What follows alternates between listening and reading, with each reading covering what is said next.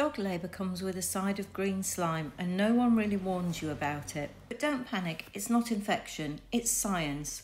Messy, slimy science, and it's called uterine verdin. So, what actually is it? Uterine verdin is a green pigment. The scientific name is biliverdin and it's completely normal in canine birth. Biliverdin is made when the body breaks down old red blood cells. In pregnant dogs, it builds up in the uterus and placenta. And during whelping, when a placenta detaches, that green pigment is released. That's what you're seeing. It can stain bedding, towels, your hands, even puppies, basically everything. So don't bring your nice linens into the whelping box. Now, here's the important part.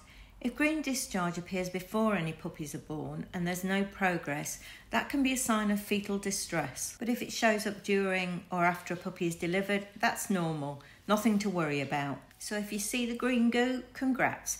You've met one of the weirdest parts of dog labour. It's not gross, it's just biology doing its thing. Have you got a magic trick for getting green stains out of your whelping supplies? Drop it in the comments. I'm always looking for new hacks.